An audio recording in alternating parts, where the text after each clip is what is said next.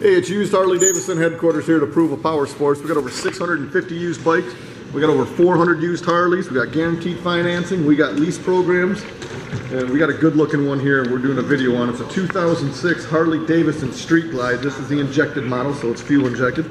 Bike only has 38,165 miles. Uh, comes in a vivid black paint scheme. It's got the blacked out front end, blacked out windscreen.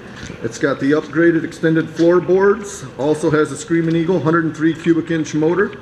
Um, I see it's got a 21 inch aluminum billet mag wheel, which really sets this thing off. It's a great looking bike.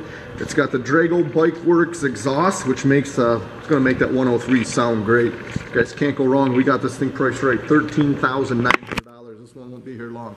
Nice looking street glide with a 103.